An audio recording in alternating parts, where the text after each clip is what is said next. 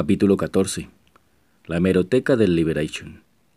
Estaba debidamente informatizada, así que me costó poco encontrar todos los datos relativos al suicidio de Cyril, la muerte de Jess Hunt, el asesinato de Jean-Claude Pleyel, la detención de Nicky Harvey, el juicio y finalmente la muerte del novio de Jess debido a otra sobredosis. Todo había sucedido allí, en París, así que los medios informativos de una década antes lo habían cubierto con exhaustividad y rigor. Disponía de tiempo, así que me lo tomé con calma, toda la tarde. Mi segunda cita en París está ya acordada, era con Trisha von Marchais, la viuda de Jean-Claude Pleyel y actual propietaria de la agencia Pleyel. Eso sería al día siguiente por la mañana. No me había costado mucho conseguirla. Zonas Interiores es conocida en los lugares adecuados de muchas partes. Incluso dispondría de unas horas libres para darme una vuelta por la Defense o el Nuevo Louvre. En torno a la muerte de Cyril, de cuanto leí, nada me sirvió en exceso. Los datos los tenía ya en mis archivos. La famosa Top había sido encontrada en su apartamento parisino por su asistenta, ya cadáver, después de haber ingerido la noche anterior un cóctel de pastillas y fármacos diversos. No dejó ninguna nota, por lo cual no se supo inicialmente el motivo de su suicidio. Incluso se especuló con el factor accidente para justificar su deceso, pero en días sucesivos las noticias completaron el cuadro en primer lugar, la autopsia demostró que no pudo haber tomado todo lo que se tomó por accidente. En segundo lugar, apareció el médico que le había diagnosticado el SIDA. Dos y dos sumaron cuatro. En las fotografías del entierro de Cyril vi a Jess y a a Frederick Dejonet, a Jean-Claude Pleyel. Era curioso. Nunca se supo nada de los padres de Cyril, es decir, de Narine Wilmate. Tal vez ni supieran que su hija se había convertido en una musa de la moda. La información acerca de Jess Hunt era bastante más exhaustiva por el morbo de su fallecimiento, pero aún más por los acontecimientos posteriores. Jess había sido hallada muerta por su novio, Nicky Harvey, en su apartamento de las Tullerías, hacía cinco meses de la desaparición de Cyril, y según los indicios y declaraciones de amigos y amigas de la top, Jess estaba muy deprimida por lo sucedido. Los dos meses anteriores a su muerte los había pasado sin trabajar, hecha una ruina, y dos días antes del fatal desenlace, ella y Nicky Harvey habían decidido ingresar en una clínica de desintoxicación. No tuvo opción de dar el paso. La sobredosis de heroína terminó con su vida. Harvey, hijo de una acaudalada familia californiana, estaba de viaje. Tres días después de la muerte de Jess, alguien disparó de noche y en la calle a Jean-Claude Pleyel dos balas en la cabeza. El dueño de la agencia Pleyel cayó al suelo fulminado un solo testigo presencial, aunque lejano, manifestó haber visto huir a un hombre a pie y después aseguró haber oído alejarse un coche. Nada más. La policía tardó menos de una semana en detener a Nicky Harvey, acusándole de asesinato. ¿Motivo? Mataron al hombre al que, según él, había metido a Jess en el mundo de la droga. Jess, a su vez, había pasado su afición a su novio. Las causas parecían, pues, de lo más genuinas, una venganza pura y simple. Player era el mal el diablo. Pero Nicky Harvey, pese a no tener coartada alguna, aseguró que, afectado por la muerte de Jess, se había refugiado solo en una cabaña a las afueras de París. Juró y perjuró que él era inocente, que no había matado a Pleyel.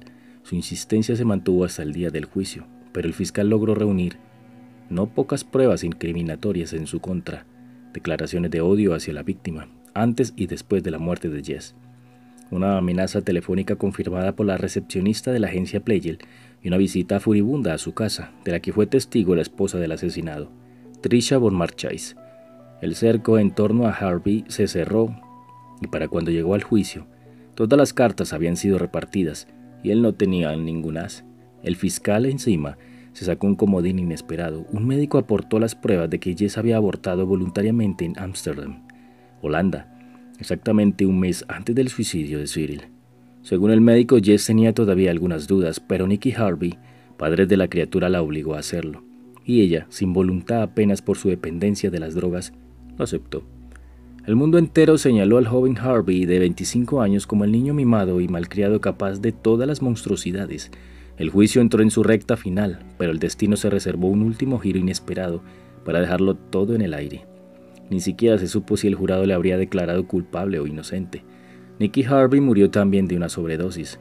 Alguien dijo que, pese a todo, estaba loco por Jess y que sin ella, Vi más fotografías en el entierro de Jess, en las sesiones del juicio, en el entierro de Nicky. Vania, una Vania apenas reconocible, ya con gafas oscuras, pañuelo en la cabeza, vestida de negro, frágil, breve. Me pregunté incluso cómo había podido aguantar la parte final de toda la historia en pie, cuando su delgadez, su extrema anorexia, hacía presagiar también para ella un final trágico. Me quedé como hipnotizado delante de una fotografía que no conocía, que nunca había visto antes.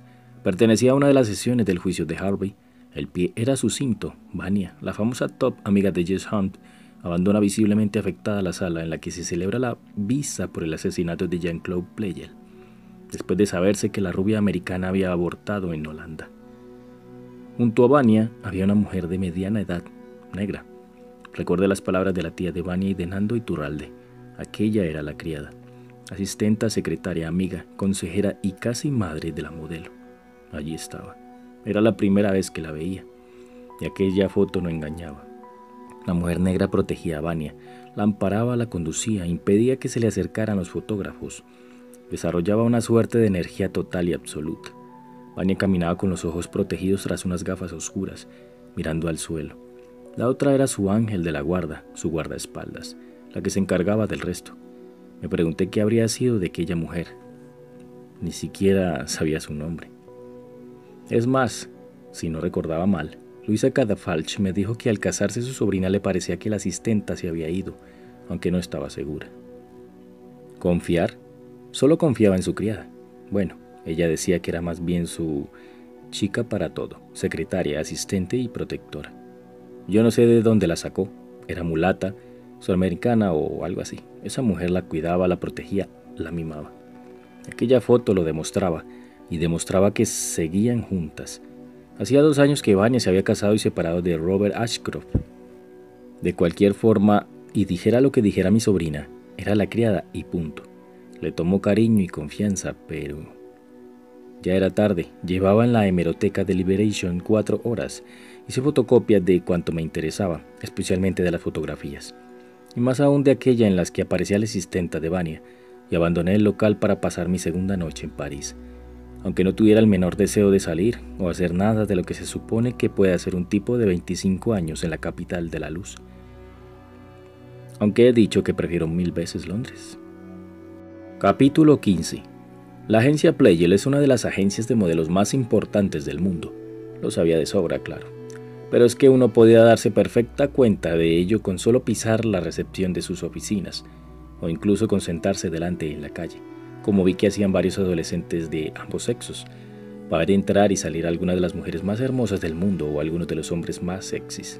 El desfile era incesante, con ellas o ellos, pero básicamente con ellas, el del ejército de adláteres y acólitos que los acompañaban, desde estilitas a fotógrafos, pasando por peluqueros, maquilladores, amantes, periodistas o simples devotos. La agencia era el oasis en medio del desierto de la vulgaridad. Otro mundo otra galaxia. Yo me sentí turbado cuando me tuve delante del mostrador de recepción. La misma recepcionista habría podido ser mix, lo que quisiera.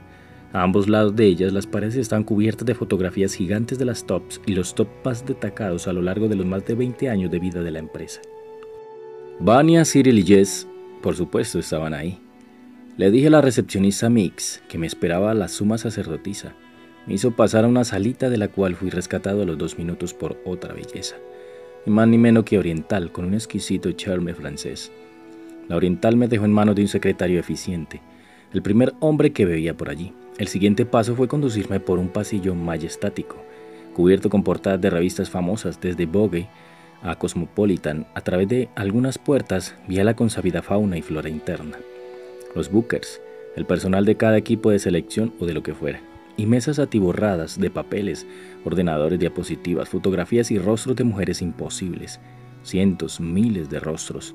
Nuestro paso no se detuvo hasta ser finalmente entronizado en el despacho de Trisha von Marchais.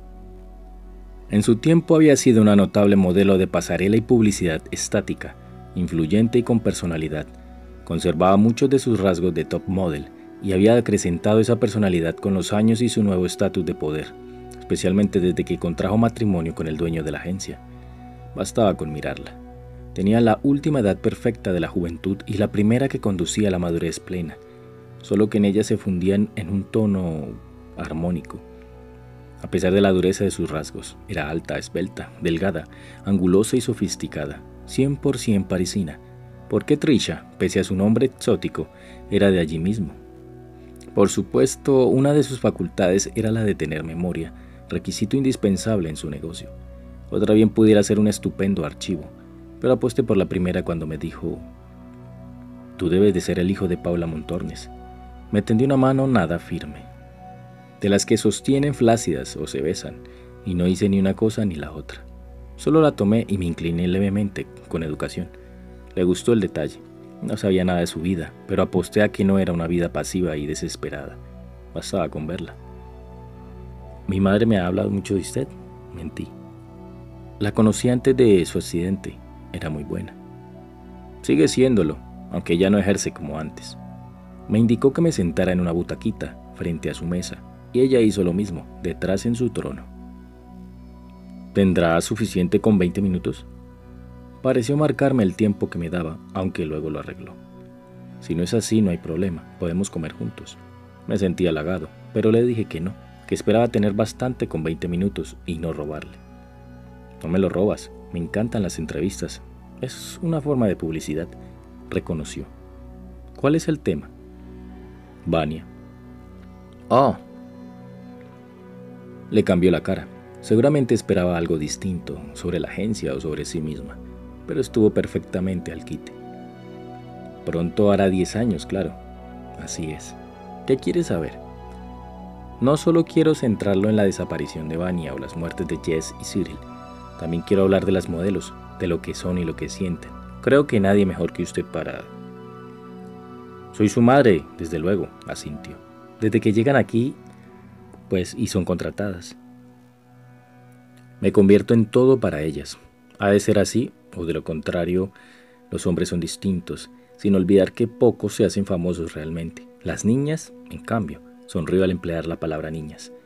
La edad ha bajado mucho, empieza muy pronto y siempre les digo lo mismo, que es un mundo duro, terrible, que no basta con ser bellas, que todo es trabajo, trabajo, trabajo. Y me escuchan, pero ¿quién acepta las reglas al 100%? Cuando se tienen 15 o 17 años, se deslumbran, se sienten fuertes y seguras, tanto como en ocasiones frágiles. Cualquier mujer entra en una tienda y es capaz de pasarse una hora probándose ropa solo para ver cómo le sienta, cómo luce. Las modelos hacen lo mismo. Se prueban decenas de vestidos, los exhiben en una pasarela. Es como un juego. Luego está la imagen. Mira esto. Me tendí un book de una modelo que no conocía. Lo abrí y pasé varias páginas con bolsa de plástico en cada una de las cuales había una portada de una revista o una fotografía publicitaria. Entendí lo que me quería decir. Se trataba de la misma modelo, pero nadie lo hubiera dicho. Una mujer sin caras, un rostro sin imágenes. Son una y mil. Lo hizo más grande, Trisha von Marchais. Para ellas es el máximo de la fantasía. Ser modelo es una religión. Fíjate bien en el detalle. Es tan maravilloso que apenas dura. En el cine, una mujer llega a su esplendor a los 30 años.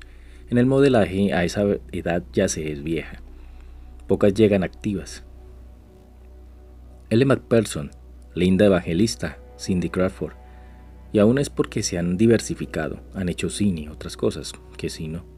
Es tan duro que en el fondo todo está en contra. Si te enamoras, estás perdida. Si estás sola, estás perdida. Aviones, aeropuertos, ni soñar con tener un hijo hombres que van a por ti pensando que pueden comprarte porque debajo de cada modelo hay una puta.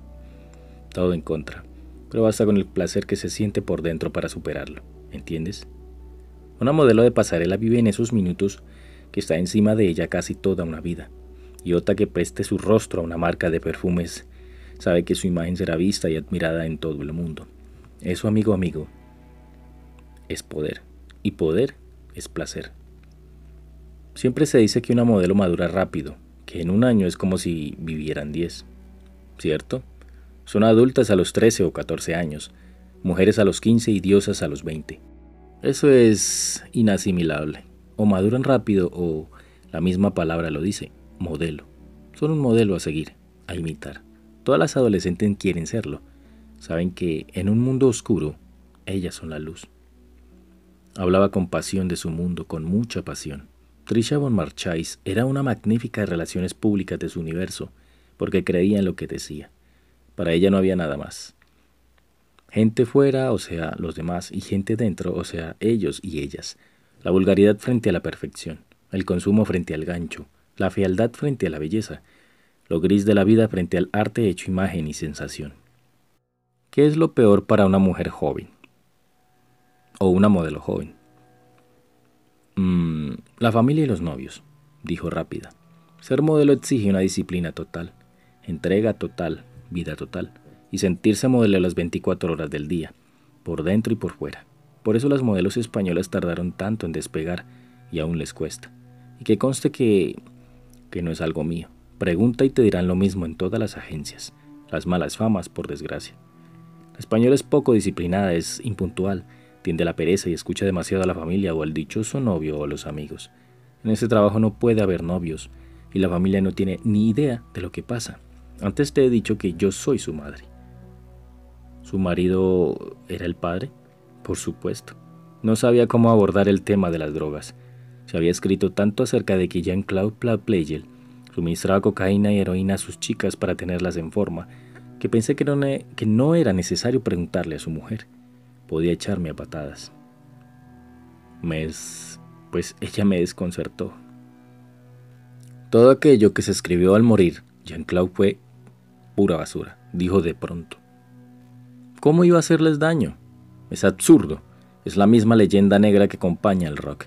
Tú eres joven y lo sabes. Se asocia el rock con el sexo y las drogas. A los escritores con las borracheras. Falso, falso, falso. En el mundo del rock han muerto muchos artistas por sobredosis, de acuerdo, pero nada más. ¿Por qué se magnifica? Muy simple. Si muere por una sobredosis, el vicepresidente de una marca de coches, la noticia ocupa un par de líneas en un periódico.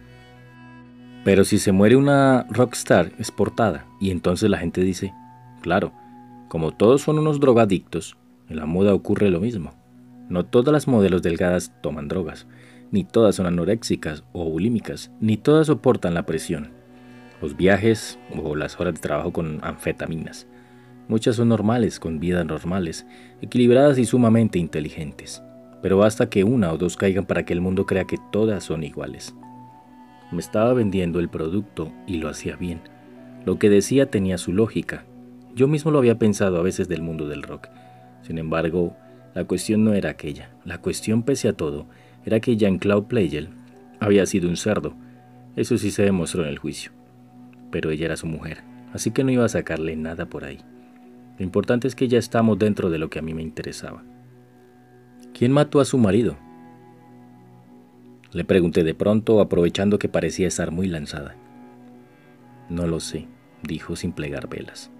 Te digo la verdad, desde luego no fue aquel idiota. Los idiotas no van pegando tiros a la cabeza a la gente. Eso lo hacen los asesinos en serio, los fanáticos, o los locos, como el que mató a Versace. Pero el novio de Jess Hunt, no, no, absurdo. Frederick Dejonet opinaba lo mismo, no parecía ser casual. Pero le amenazó, fue a su propia casa y usted fue testigo de ello. Era un loco idiota nada más, insistió segura. Se le juzgó por ello. No tenía nadie más, y mi marido era demasiado importante. Había que buscar un cabeza de turco, Nicky Harvey era perfecto, carecía de coartada, tenía el motivo. Bueno, el motivo que dijeron que tenía, claro. ¿Cómo iba a querer vengar a su novia matando al hombre que supuestamente la introdujo en las drogas, cuando lo propio de Jess le metió a él? Yo le vi en el juicio, y no era más que un, un drogadicto asustado, y un niño bien hasta aquí de porquería. Se llevó la mano derecha en horizontal a la altura de la nariz. Después de la muerte de Nicky Harvey, ¿Hizo usted algo para que se siguiera investigando? Sí, pero la policía no me hizo caso. Dijeron que el caso estaba cerrado, porque desapareció Vania después del juicio. No lo sé. ¿Cuánto fue la última vez que la vio? Antes de irse a la clínica para que la trataran por la anorexia. También hablé una vez por teléfono con ella mientras se recuperaba. ¿Y después? hizo un gesto definitivo. Se acabó. Nunca más. Ni un mensaje, ni un indicio, ni una pequeña sospecha. Nada. Trató de buscarla, de ponerse en contacto con ella. Claro, cuando supe que había abandonado la clínica la llamé para saber cómo estaba y darle trabajo. Tenía un montón de peticiones para ella. Por teléfono notó algo. La noté cansada, afectada, eso es todo. Ya no volví a llamarla, porque imaginé que lo que necesitaba era descanso, desconectarse dos o tres semanas del mundo, desconectarse. Tuve una idea de repente, algo que no se me había ocurrido antes en ese instante. ¿Pudo saber ella algo diferente en relación con la muerte de su marido? No lo creo. Pero en cualquier caso, ¿dónde estaba Vania cuando murieron Jess y luego su esposo? Cuando murió Jess, Vania se encontraba en Nueva York. Lo recuerdo porque nos llamó desde allí. No tenía pasaje para volver y quería hacerlo cuanto antes. Cuando murió mi marido estaba aquí con los padres de Jess, si no me equivoco. ¿Recuerda usted a la criada de Vania? ¿A quién? Su criada, ayuda de cámara, secretaria, no sé. Hacía un montón de cosas para ella. No, no. ¿Secretaria? Nunca hablé con ninguna secretaria de Vania. Saqué la fotografía de mi bolsillo, es decir, la fotocopia del periódico que había hecho la tarde anterior, y se la atendí. Miró a la mujer negra sin que le cambiara la cara. Recuerdo haberla visto con Vania, sí, pero ni siquiera sabía que fuera su criada o... Se encogió de hombros y me devolvió la hoja. Después miró su reloj y dijo, me temo que... Sí, sí, lo siento, a veces. ¿Por qué no te vienes hoy al desfile de Michael Pontiac? Que sería muy útil para el reportaje. No solo puedo darte una invitación, sino meterte en el staff para que estés con las chicas en el peluquero y luego entre bastidores. Viendo el backstage de una desfile, ¿ha estado alguna vez así en uno? No. Entonces está hecho. Michelle no es Gaultier ni Lagerfeld, pero es uno de los genios emergentes de la moda. La mayoría de las chicas que va a utilizar son mías. Gracias. Se puso en pie y me acompañó a la puerta. No sé cómo lo hizo, pero antes de llegar a ella, ya apareció su secretario, dispuesto a satisfacer sus exigencias y darme lo que necesitaba. Ah, otra cosita, no olvides suscribirte. Capítulo 16 Ya no tenía la tarde libre como pensaba, pero la alternativa era buena, muy buena. Y no solo por el reportaje, sino por mí mismo.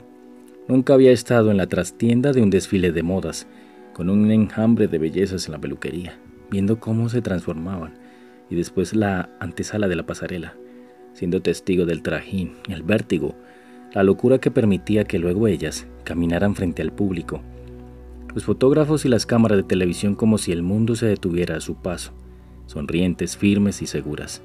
El trabajo de una temporada entera se presentaba en 20 minutos, excitante, habían oído hablar de ello, pero eso era todo. Y un desfile en el mismo París. Pensé en Sofía, en lo que daría por estar allí. Por eso llegué al hotel, me tendí en la cama y marqué su número. No sabía nada de ella desde su marcha de mi apartamento y la pelea de la noche anterior. Nada. No es que me sintiera culpable, pero tampoco había dejado de pensar en lo sucedido. Le tiré la maldita droga, hubo unos gritos y después, cuando la gente no habla, cuando cada cual se escuda en su postura, es difícil entender el punto de vista del otro. Y además me seguía gustando. Sí, escuché su voz, aunque algo nasal. Sofía, soy John. Pasaron tres segundos y no me colgó. Hola. Su voz careció de entusiasmo, pero algo, pues era algo. ¿Qué te pasa? ¿No me oyes la voz? Estoy resfriada. Ah, lo, siento. No importa. El novio de mi compañera casi se ha instalado aquí y me ponen de nervios. Ayer salí, llovió y pues me mojé. ¿Por qué no fuiste a mi casa? Ya sabes dónde está la llave. Cambio de tema sin más. ¿Dónde estás? En París. Joder. La oí suspirar. Le decía que estaba trabajando. Imaginé que sería un insulto. Le contaba lo del desfile de moda por la tarde. ¿Cuándo vuelves? No sé. Ya te dije que estaría fuera más o menos una semana. Mañana me voy a Nueva York, aunque con un poco de suerte no tendré que dormir en la ciudad por la noche me largaré a Los Ángeles. ¿Con un poco de suerte? No entiendo que haya una persona que no quiera quedarse en Nueva York, aunque claro, tú ya habrás estado más veces. Siento lo de la otra noche. Traté de contrarrestar su deprimente amargura.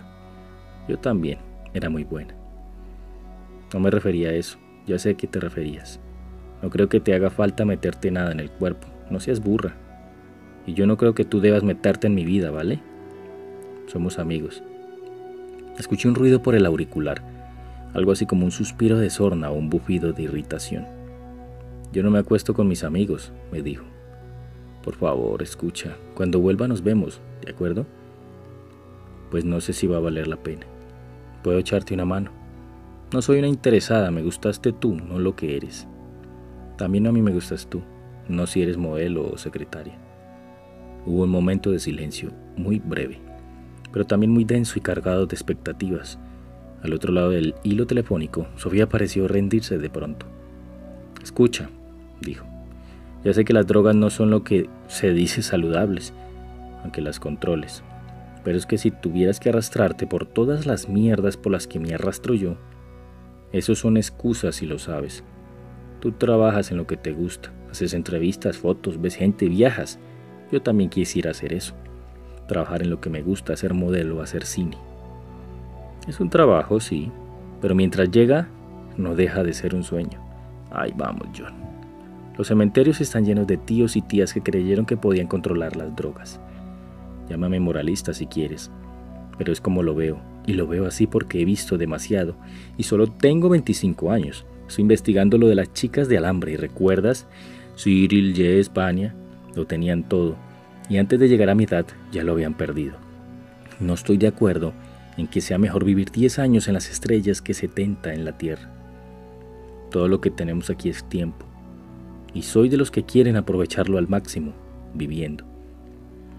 Eres un idealista. Hace 10 años yo estaba enamorado de Vania. Entonces sí era un idealista. Ahora soy la persona más realista que puedes conocer. Ya no me enamoro de póster, ni de chicas de película. Ahora me gustas tú. La pausa fue mucho mayor. Puro carne y hueso. Trató de quitarle importancia a mis palabras. Te llamaré cuando vuelva, ¿de acuerdo? Si no estoy, es que me he ido a las Maldivas o a Polinesia a tomar el sol. Bueno, entonces esperaré a que vuelvas. ¿Qué tal está tu compañera de piso? Ni se te ocurra. Logré hacerla reír. ¿Quieres morir en el intento? Un beso, cuídate. Estornudó sonoramente y no era fingido. Vale, gimió. Colgué al mismo tiempo que ella y me quedé en la cama cinco minutos más, pensando, o más bien, dejando que mis pensamientos fluyeran libres. Cuando llenaron toda la habitación los aparté de golpe y volví a concentrarme en el teléfono. Aún me quedaban unos minutos antes de tener que cambiarme de ropa y salir. Zonas interiores, dígame. Elsa, soy John. Hola, la, cantó en el más puro estilo chic parisino. Deberías ver los campos elíseos, la primavera le sienta muy bien. Y tú deberías ver cómo está esto, el exceso de trabajo nos sienta de coña. Me imaginé a Sofía con el buen humor y la mala pava positiva de Elsa. Una combinación perfecta. Vale, ponme con la jefa. Una de madre marchando. No podía estrangularla, era buena, más que buena, indispensable. Seguro que mamá la prefería a ella. Jonathan. Agente 007 informando, señora. Anuncie. ¿Cómo lo llevas? De Jonet, muy bien. Trisha Von Marchais. Digamos que patante. Me ha invitado a ver un pase de modas dentro de un rato. A eso de las 7. Y antes estaré con las chicas en una peluquería viendo cómo se lo montan y de qué hablan. No alucines mucho. Tengo los nervios de acero y el corazón de piedra. Sí, ya, se burló ella. ¿Crees que va a impresionarme estar rodeado por 20 o 30 de las mujeres más guapas del mundo? por favor. ¿De quién es el desfile? De un tal Michel de Pontignac. no le conozco. Yo sí, es un nuevo Gaultier, pero aún más excesivo. ¿Me hará fotos? No, voy de incógnito. Prefiero concentrarme en la trastienda. De acuerdo. Oye, ¿tú sabes cuántas casas o apartamentos tenía Vania? Eh, no, pero desde luego estaba el de París, porque leí que vivía más en el que en su piso de Barcelona. A lo mejor tenía también otro en Nueva York. Para una top sería lo más usual. Dile a Carmina que indague eso, ¿de acuerdo? Se lo digo. Mañana me voy a Nueva York, que me deje el recado en el hotel antes de irse esta tarde, si es que tiene algo. De acuerdo, tengo otra llamada, Jonathan. Un beso, mamá. No te enamores de una modelo. Fue lo último que le oí decir antes de colgar. Y recuerda suscribirte y darle like. Pronto continuaremos con capítulos 17, 18, 19 y 20. Buena noche, buena tarde o muy buenos días.